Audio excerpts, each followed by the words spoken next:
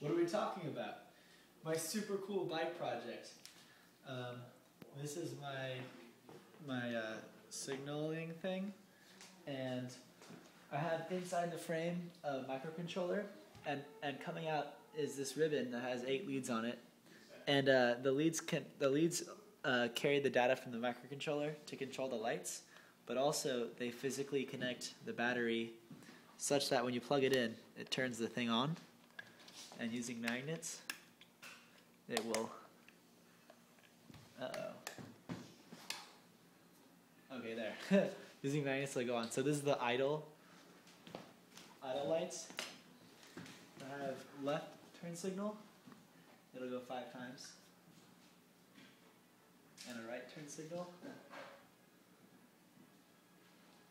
And then whatever you pull on the right brake, it goes on to brake lights. And it's pretty responsive. And then finally, if I flip the switch under here, it goes on to party mode. This is for the fixie party. Yeah, and that's that.